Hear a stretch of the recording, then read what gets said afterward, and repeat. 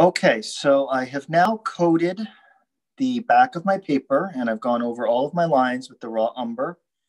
Um, so what I'm gonna do next is take my uh, pre-toned panel. So for this, I used, uh, this is my Imprimatura, and I used uh, raw sienna and yellow ochre.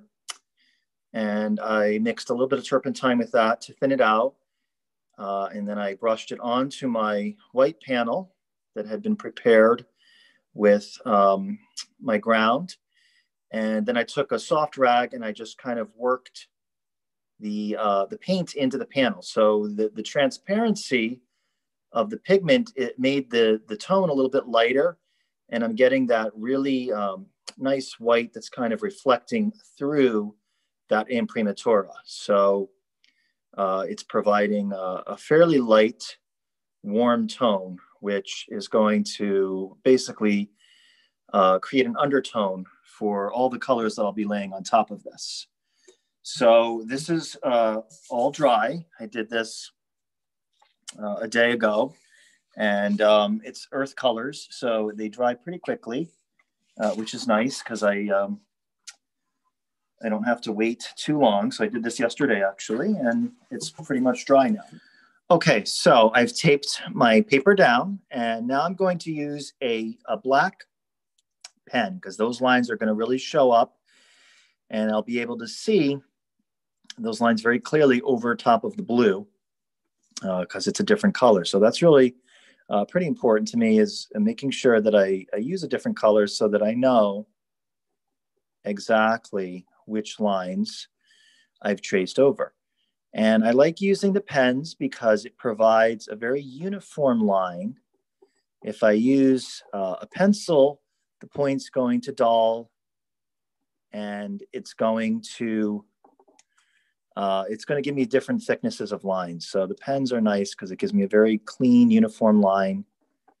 Uh, and you'll notice when I do this, I'm kind of doing it in increments. I'm trying to really press down and, you know, not lift this too much. Um, so if I do lift it, I do obviously need to take breaks every now and then. Um, you know, I'll kind of move to a certain point and then I'll take the pen up and then I'll start right again at that same point with the same amount of pressure. And this should provide a, a fairly clean line. Uh, there may be some little bits of variation, but uh, that's okay. It doesn't have to be absolutely perfect.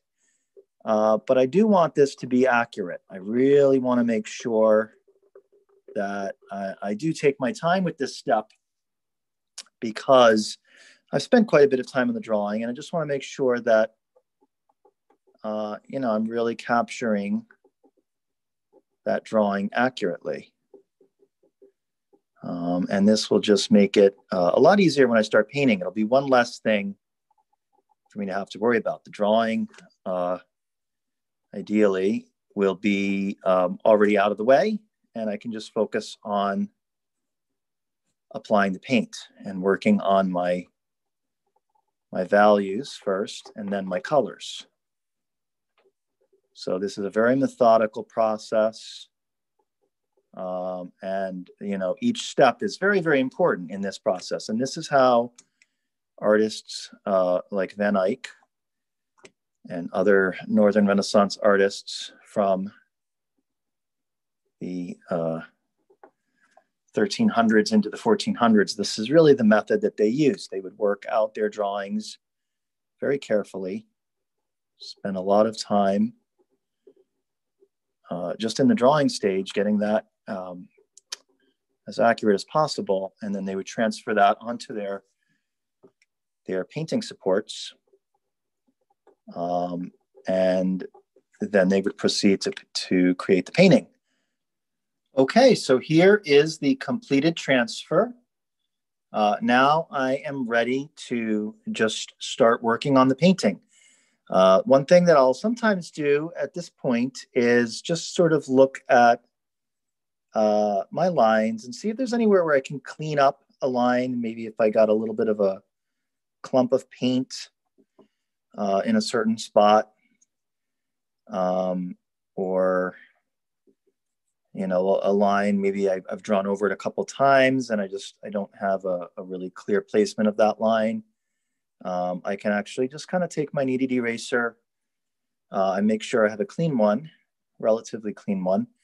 And I can just go in and very kind of gently go back over some of these lines to clean them up.